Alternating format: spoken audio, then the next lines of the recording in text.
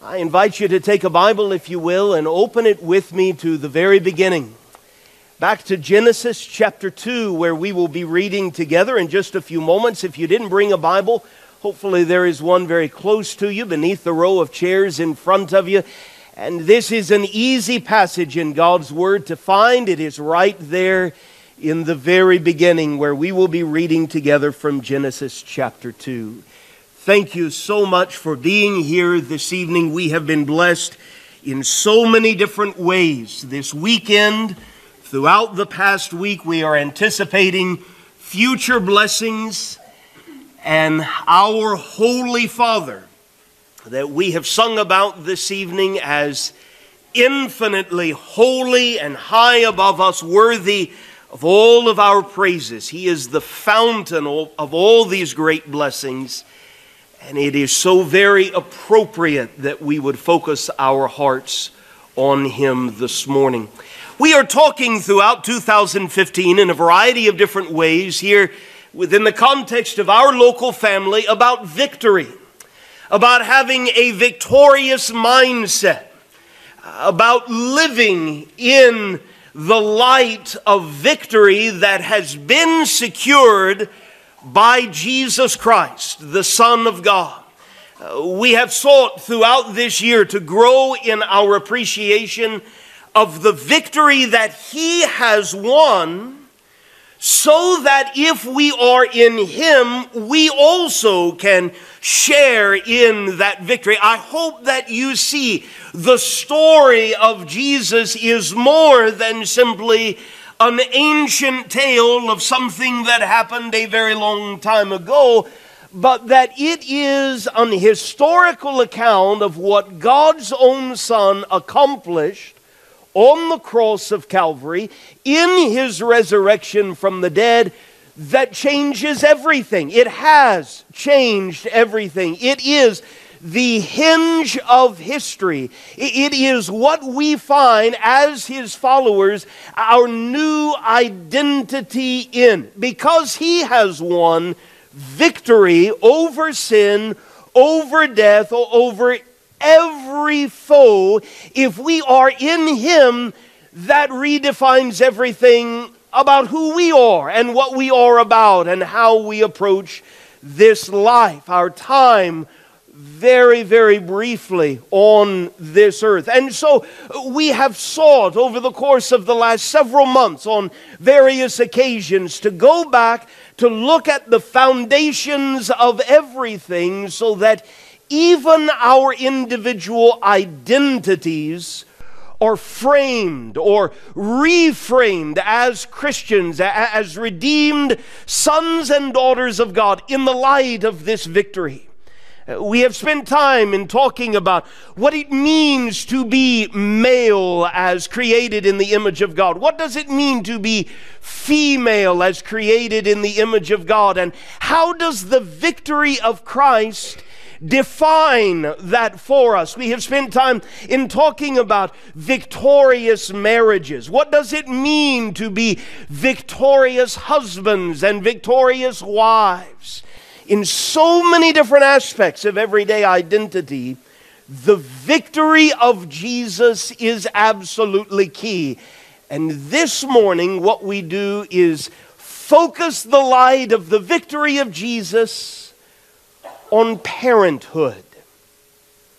What does it mean to be victorious as disciples of Jesus Christ who are also parents? During our very brief time on this earth. I begin with just some very basic foundational truths that will hopefully give us very solid ground on which to build everything else that we talk about this morning. Number one, parenthood was God's idea. And let's not take that for granted this morning. There are so many different ways. We see in the wonder of the natural creation around us so many different ways that God could use to propagate the human race, to, to populate the whole earth, and to have humanity spread all over the globe. We could have people just spontaneously appearing out of nowhere without any human context or connection. God could produce people from rocks. God could produce people from water. He could do it in any number of different ways. He could produce people from people without any real tie the sword of tie that we have sung about this morning, the sword of tie that gets down into our heart level and shapes and reshapes so many different aspects of who we are as men and women. But God didn't choose to do it that way. God chose parent hood. You have your Bible open there to Genesis chapter 2. Begin reading with me in the 21st verse of the chapter, where God has clearly communicated that it is not good that Adam, the first man, would be alone. And so in verse 21, the Lord God caused a deep sleep to fall upon the man. And while he slept, took one of his ribs and closed up its place with flesh. And the rib that the Lord God had taken from the man, he made into a woman and brought her to the man. Then the man said, This at last is bone of my bones and flesh of my flesh. She shall be called woman because she was taken out of man. And then I want you to notice this great summary statement in verse 24 a God breathed summary where he says, Therefore, a man shall leave his father and his mother. There it is. I don't know about you, but oftentimes when I'm reading Genesis 2 24, I read it within the context of the man and the woman who are going to be joined together and the nature of their relationship. We've talked a great deal about marriage from this most foundational of texts. But notice with me, before there is ever a physical father and a physical mother, that God Almighty uses those words. An aspect of what it will mean for so many to be human created in the image of God with great blessing and great responsibility. A man shall leave his father and his mother and hold fast to his wife, and they shall become one flesh. In the next chapter, you turn to Genesis chapter 3 and verse 20, where we are told that Adam, this man, called his wife's name Eve because she was the mother of all living. Parenthood was God's idea. Finally, in Genesis chapter 4, we see this coming to fruition. God has already described what this is even before it happens, even before it is enjoyed.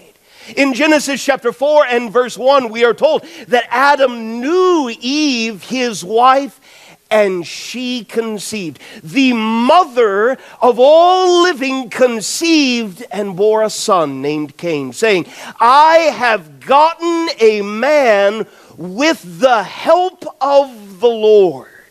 It's hard for us to imagine what that must have been like, right? To have Adam and to have Eve, and then suddenly to have another human being on the earth a fellow image bearer of God that God has seen fit by his design to bring into the world via a man and a woman. It is no wonder that Eve would say, I have gotten a man with the help of the Lord. Why? Because parenthood was God's idea. That's the beginning of the Old Testament. Would you open your Bible with me back to the first book in the New Testament, back to the Gospel of Matthew, chapter 5, where we have already had the, the table set for us by Nathan. I appreciate him framing where we were going to be and why he selected the songs that he sang. Yes, God Almighty, physical parenthood was his idea. But how amazing. Would you gaze with me this morning at this incredible truth? that God not only creates man and woman in his image, and then by his design empowers them to have children so that Adam might be father and Eve might be mother, and on and on and on. That chain of humanity goes down through the ages how much more amazing that the Son of God now in Matthew chapter 5 steps on the scene and in his first, most monumental and formative of messages talks about this Creator God, and I want you to notice the way that he describes him. First of all, in Matthew 5 and verse 14, as Jesus looks at his disciples, he says, You, you are the light of the world. A city set on a hill cannot be hidden, nor do people light a lamp and put it under a basket, but on a stand, and it gives light to all in the house. In the same way, you let your light shine before others so that they may see your good works and give glory to your Father who is in heaven. I plead with you this morning not just to read over that, but to meditate and to marvel with me.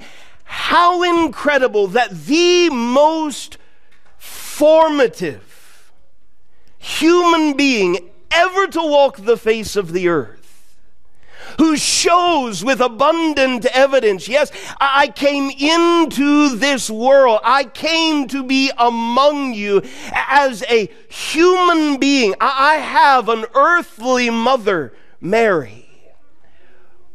But my Father is in heaven, and now as He speaks to those who are willing to follow Him and give their lives to Him, He not only talks about His Father, He not only talks about the Creator, but He talks about your Father who is in heaven. And to drive that point, He does it over and over and over again. Later in the same chapter, verses 44 and 45, I say to you, love your enemies and pray for those who persecute you, so that you may be sons of your Father who is in heaven. For he, our Father in heaven, makes his sun rise on the evil and on the good. Our Father in heaven sends rain on the just and on the unjust. In Matthew chapter 6 and verse 3, he says, You, when you give to the needy, do not let your left hand know what your right hand is doing, so that your giving may be in secret, and your Father who sees in secret, he will reward you. How incredible! Would you slow the pace of your life down and, and, and, deliberately focus your spirit this week? How incredible that God Almighty sends His Son and his son teaches his disciples to pray, Our Father in heaven. One thing to be creator, one thing to be sovereign Lord over all, another thing to be Father. Parenthood was God's idea. Open your Bible with me to the center of your Bibles, back to Psalm 127. And would you notice with me now, having established the fact that this was God's idea, how very valuable anytime He would speak to the way He wants us to conduct ourselves as fathers and mothers. He is the designer, He is the architect, He is the empowerer. And so, anytime He would speak to humanity about what we would do, what He wants us to be as physical fathers and mothers, that is priceless. In Psalm 127 and verse 3, we find that children are a heritage from the Lord. Psalm 127 and verse 3. Behold, children are a heritage from the Lord, the fruit of the womb, a reward. How important is it that we would listen to the designer, the architect of parenthood? That comes through loud and clear in verse 1. Unless the great I am builds the house, those who build it, they labor in vain. Would you come face to face with me this morning to this great truth? You don't have to believe in God in order to be able to physically reproduce. That doesn't nullify the fact that this was God's idea all along. That children are a heritage from Him, and that unless we listen to Him, we are missing the point not looking to what this was all about from the very beginning. And whatever we build in the grand scheme of things, it's vain. Raise a Rhodes Scholar who never comes to believe in God, and that Rhodes Scholar has missed the point of all knowledge and wisdom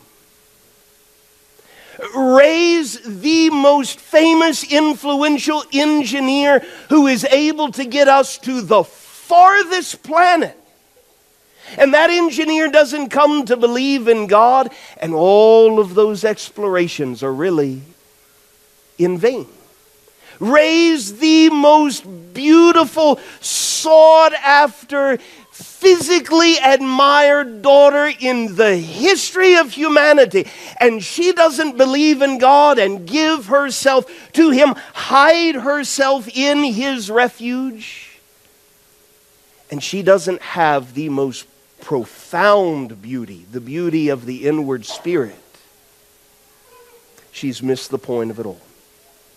And so you open your Bibles with me back to the Old Testament book of Joshua. For the remainder of our time, what I would like to do with you is notice just very briefly five points what victorious parents do, what victorious parents believe, all from the Bible, all as defined by the one of whom parenthood began.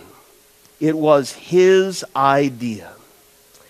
Victorious parents, number one, they love and they serve the only perfect Father. They come to grips with the fact that they themselves are not. I stand before you this morning absolutely, deeply flawed, far from perfect.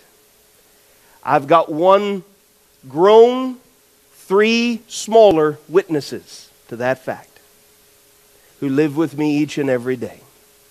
You are not a perfect father or a perfect mother. And in order to gain the victory in Jesus Christ, in order to be His and, and discover why you are here and make the most of your time on this earth, you don't have to be the perfect earthly father or mother, but you do need to love and serve the only perfect Father in heaven. Is that not what Joshua is seeking to lead God's people to in Joshua chapter 24? It is what he, by his own declaration, is intent on leading his family towards. In Joshua 24 and verse 14, he challenges the descendants of Abraham. Now, therefore, fear the Lord. Serve him in sincerity and in faithfulness. Joshua understands, he wants these people to understand it does not matter what we are able to conquer, what cities we are able to capture, it doesn't matter the walls that we are able to build. If we do not fear the Lord, and serve him in sincerity and in faithfulness, it will not last.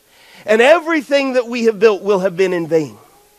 Put away the gods that your fathers served beyond the river and in Egypt and serve the Lord. And if it is evil in your eyes to serve the Lord, make a choice.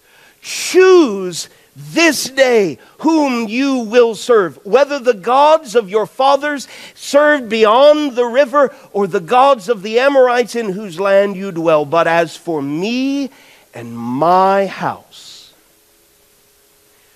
we will serve the Lord. Here is the basis, the very cornerstone of victorious parenthood. Victorious parents love and serve the only perfect father because he is aware, she is aware. Earthly fathers and mothers are keenly aware. We make so many mistakes. There are so many things we wish we could go back and undo. That there are so many opportunities that we had that we wish we could go back and take full advantage of. But guess what? Everything does not depend upon us. It does depend upon the Father of spirits. This morning, your spirit has a father. A spirit that you did not get from your earthly father. A spirit that comes from your heavenly father. Victorious parents, number one, love and serve that only perfect Father.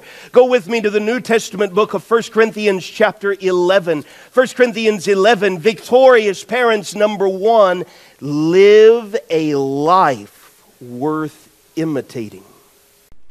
Victorious parents live a life worth imitating. Yes, keenly aware that they are not perfect, that their children have seen them make mistakes. Victorious parents are willing to own those mistakes, not to seek to blame someone else for those mistakes. That's what I did. I was wrong. Victorious parents are willing to ask for forgiveness from God and from the people around them but the trajectory of their life is a life worth imitating. Saul of Tarsus, now the Apostle Paul, knew what it was with every fiber of his being to want to go back and undo so many different things that he had done to confess his belief in Jesus while Jesus was still literally, physically walking among people. He couldn't go back and do that. And yet he had been forgiven, he had been reconciled to God because of the victory of Jesus over sin and death. Now the Apostle Paul is able to share in that victory and he is able to write in full, unhypocritical confidence to brothers and sisters in Corinth be imitators of me as I am of Christ. Parents, could I say fearfully, humbly, our children can get over a lot of things. They can forgive a lot of things. They can leave a lot of things in, beha- uh, in the past. But one thing that will absolutely stick with them and leave a scar is hypocrisy on the part of their father, the part of their mother. Seeing mom and dad put on one very clean, dignified mask on Sunday morning, and then take that mask off and live a completely different life Monday through Saturday. Victorious parents live a life worth imitating. Listen, by God's design, children are imitators. It's one of the things that fascinate the newest of parents and then come to exasperate parents given enough time. Children are imitators, right? They are little sponges and they soak in and they soak in and they soak in, and given the right time and opportunity, what they have soaked in begins to come out all over the place in the most opportune and inopportune of moments.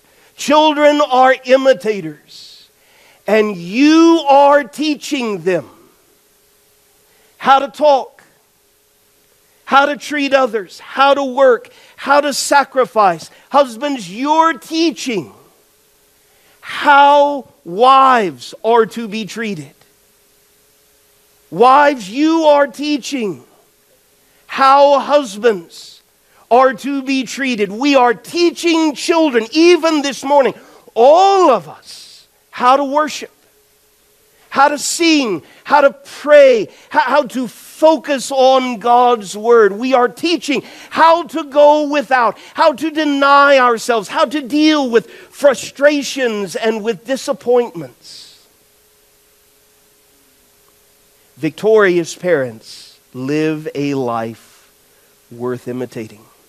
Go with me to the Old Testament book of First Chronicles, First Chronicles 28, to the historical moment here where David, Israel's greatest king, his life is coming to an end. And we find that victorious parents, number three, invest in eternity. We know what it is to invest, don't we? We deposit maybe very small amounts, but we are making deposits, looking to the future. We're consistently making deposits. We're, we're patiently making deposits. And we realize sometimes we gain and sometimes we lose, but we keep making those deposits. That is what it means to invest. Victorious parents invest in eternity. Great King David, now a very old man, as he looks at Solomon, who is about to take over the throne of Israel. Listen to David's words in verse 9 You, Solomon, my son, know the God of your father and serve him with a whole heart and with a willing mind, for the Lord searches all hearts and understands every plan and thought. If you seek him, he will be found by you. But if you forsake him, he will cast you off forever. Of all the things, this is the most important. David undoubtedly needs to talk to Solomon about economy, and he needs to talk about defense, and he needs to talk about advancing Israel's interests, and he needs to talk about diplomacy and, and dangers within and dangers without, and so many other things. But here is the foundation of everything Solomon, whatever you do, invest in eternity. You now have to decide whom you will serve. Number four, go back with me to the book of Proverbs, chapter 22. Victorious parents, they discipline their children. Listen to the admonitions, the encouragements, the commandments, the, the wisdom from the designer definer, empowerer of parenthood. Wisdom in Proverbs chapter 22 and verse 6 gives us this maxim train up a child in the way he should go. Even when he is old, he will not depart from it. And we understand that that is a wise statement. And the book of Proverbs is full of wise statements that are not divine promises as much as they are signposts this is the wise pathway to choose. We've already established the fact. Children will make the choice on their own, in and of themselves, whom they are going to serve. But I want you to notice the first word that wisdom, by inspiration of the Spirit of God, chooses train. That's my responsibility. That's not any Bible class teacher's responsibility here. That's not any federal or local or state government's responsibility. That's my responsibility. Train.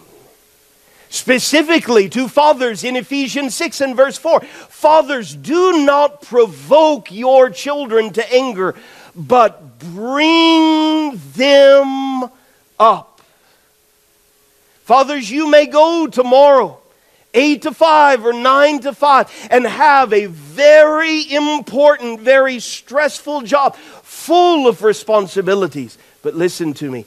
It is not nearly as eternally significant as your responsibility when you open the door and walk in amongst your God given family.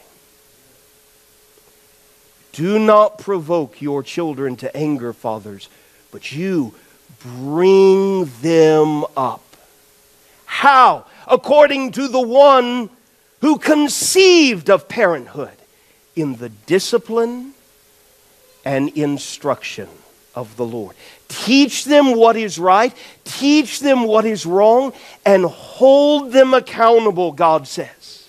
Train them in the wisdom of Proverbs 29 and verse 15, the rod and reproof give wisdom, but a child left to himself, a child without this God designed instruction discipline mechanism of authority over them, a child left to himself or herself brings shame to his mother. Whose responsibility is it that my children would gain a heart of wisdom and be told, no, yes, you're not going to do that. Yes, you are going to do that. No, you have to wait. No, the world doesn't revolve around you. There are consequences for your actions. This is what it means to be reverent. This is what it means to be rewarded for doing what is good. That's my responsibility. That's your responsibility if you're a parent.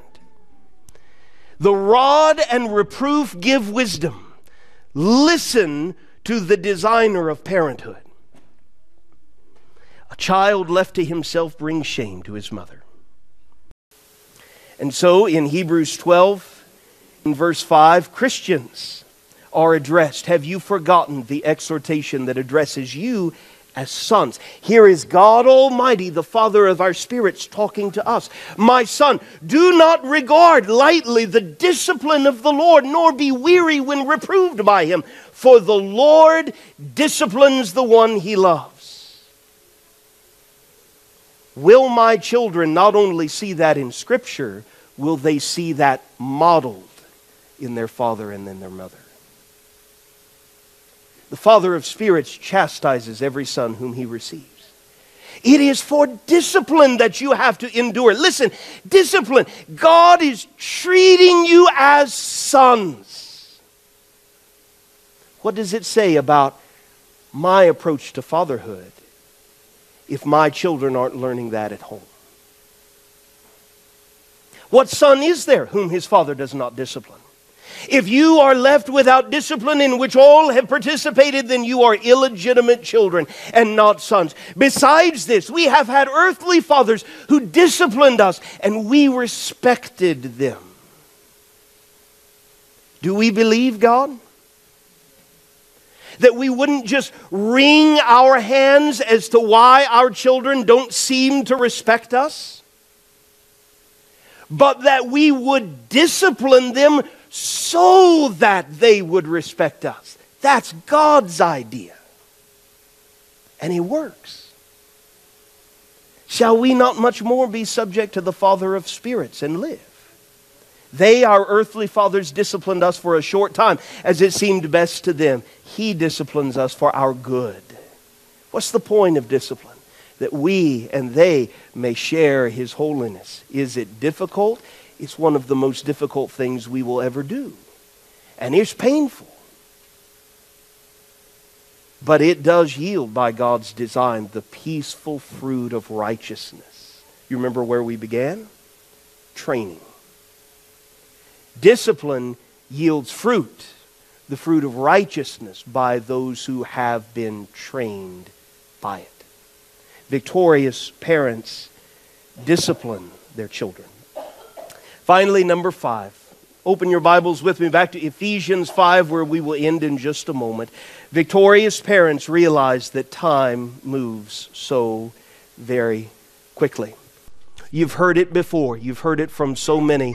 Here's my tossing my two cents into the fountain. I cannot believe that I am the father of a 14 year old daughter. Can't believe it.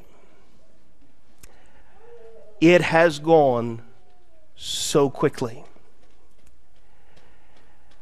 And how I encourage those of you who are holding 14 month old sons and daughters. Realize it goes so quickly. The window shuts so quickly. And so, victorious parents, they pray. Lord, make me know my end and what is the measure of my days. Let me know how fleeting I am. You have made my days a few handbreadths, and my lifetime is as nothing before you. Surely all mankind stands as a mere breath. Victorious parents, they listen. When James in James chapter 4 encourages, Come now, you who say today or tomorrow, we will go into such and such a town and spend a year there and trade and make a profit, yet you do not know what tomorrow will bring. What is your life? You are a mist that appears for a little time and then vanishes away. And so, victorious parents listen to the wisdom of Ephesians 5 and they apply it personally. In Ephesians 5 and verse 15, look carefully then how you walk, not as unwise, but as wise Victorious parents, they love and they serve the only perfect Father. They live a life worth imitating. They invest in eternity. They discipline their children, and they realize that time is a quickly fleeting vapor. And so they, they begin to walk very carefully. Not as unwise, but as wise, making the best use of the time. Because the days are evil. Therefore, do not be foolish the Father of our spirits says. But understand what the will of the Lord is. Each one of us, regardless of our family tree, are choosing, we're making a choice even this day, whom we will serve. We encourage you this morning because we love you to ask, whose will are you walking in? Are you walking in the will of the Father of your spirits.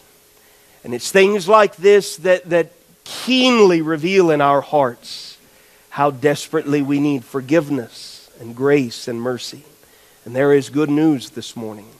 The blood of Jesus Christ can wash those sins away. Each and every one of them. Regardless of what you have done, you can walk out of here forgiven reconciled to the Father of your spirit because of Jesus and his death on the cross. When people heard of his death and they were willing to ask what they needed to do, They were told to repent, to turn away from sin, and be baptized in the name of Jesus Christ for the forgiveness of those sins. And when they listened, they could go on their way rejoicing because they had come back to the Father of their spirits. Do you need to do that even this morning? If we can be of some help, would you let us know how by coming to the front while we stand and sing?